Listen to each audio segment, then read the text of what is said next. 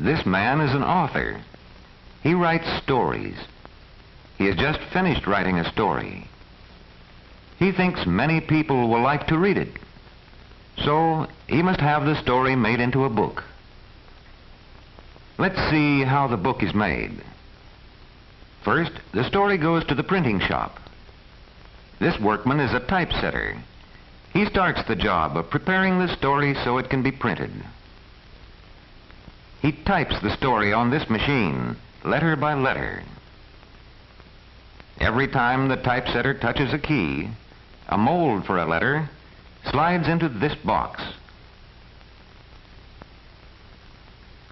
Many molds together make a line. Every time the lever goes up, melted metal pours over the letter molds inside the machine. When the metal cools off, it hardens and makes a line of words. It takes many lines like this to make a page. As the typesetter works on new lines, a man takes the finished lines over to a long table. Here he arranges the lines for each page.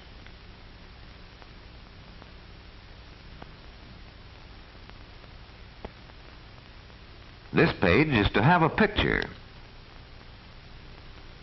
The picture takes up the space of many lines. The composer then goes to the next page. With a piece of wood, the composer marks the end of each page. When many pages like this are ready, a workman takes them to another part of the printing shop. Then this workman takes the lines of type for many pages and fits them into a metal frame. He must be careful not to mix them up.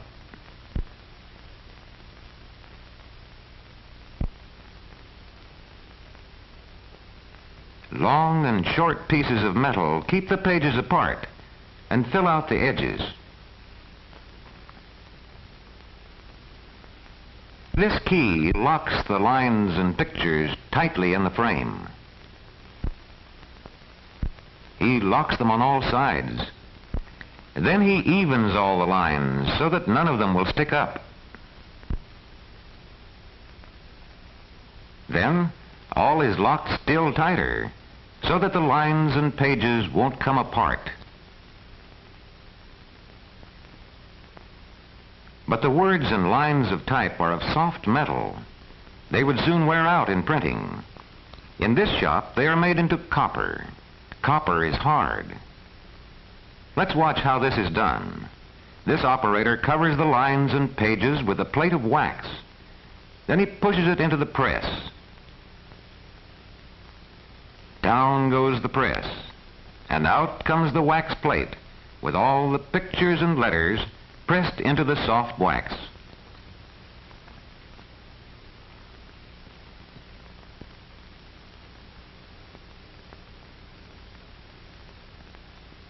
Next, another worker dips the wax plate into a large tank which has copper in it. The copper goes into all the places where the letters have pressed into the wax. It forms a solid plate. It has the same letters and same pictures as before, but it is much stronger. Many books can be printed from copper plates. Now the plates are cut apart. This sharp saw easily cuts through the hard copper.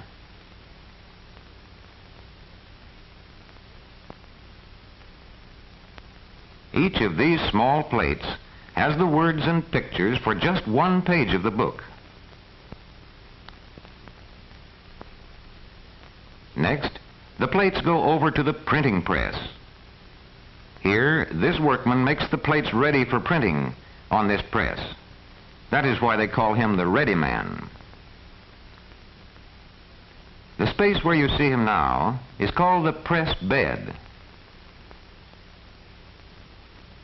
64 pages fit on one bed. The ready man fits every plate tightly to the bed in the right order.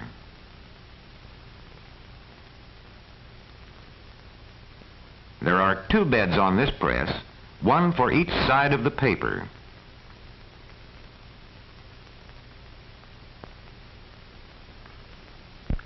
Both press beds of this printing press must be filled with plates before the printing can begin.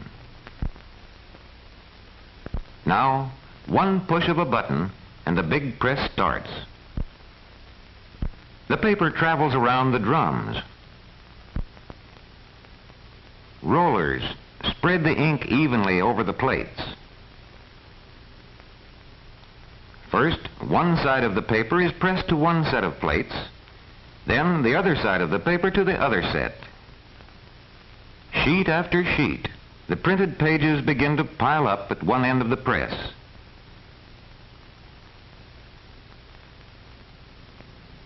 This workman now examines the sheets to see if they are nicely and clearly printed.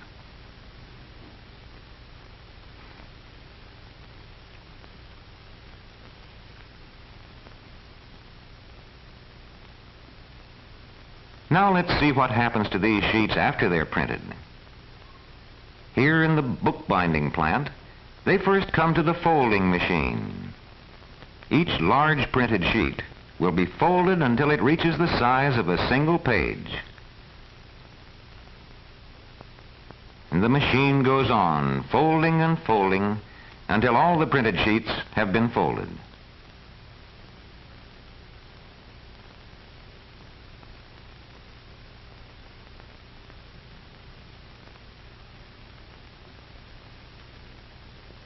This man checks the folders to make sure that the pages follow each other in the right order.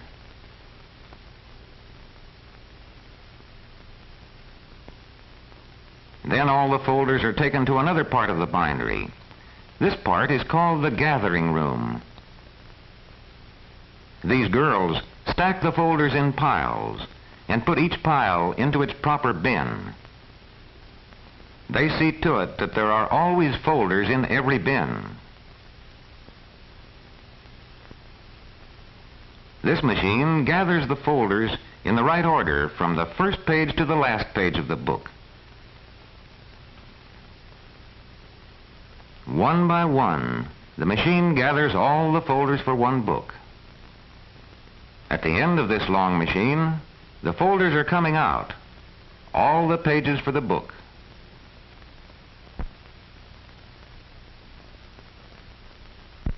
Here, other girls take the assembled folders to other machines. Here, a machine sews them together. Again, each folder goes into the machine separately. This machine sews the folders together with strong thread. The sewing will keep the pages from coming apart.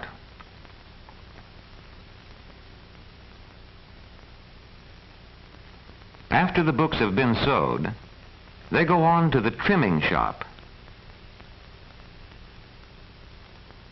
This machine trims the pages to just the right size with three sharp knives. First with one knife for the long side of the book, then with two knives for the two short sides.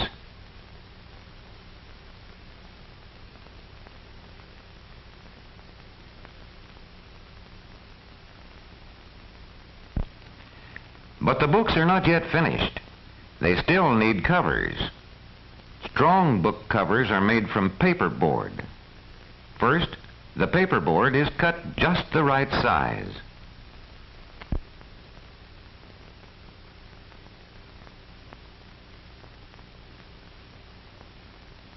Next, cloth from this roll is glued over the paperboard. This makes covers that are strong and good looking.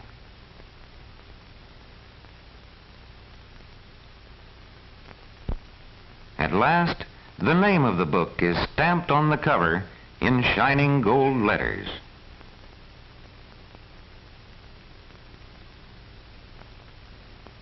Now, the covers are ready for the pages of the book to be put inside them. One push, and the book has a cover around it. Another push, and the cover is glued tight.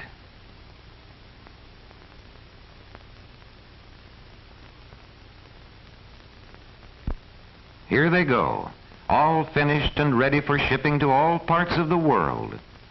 The story has been made into a book for readers everywhere.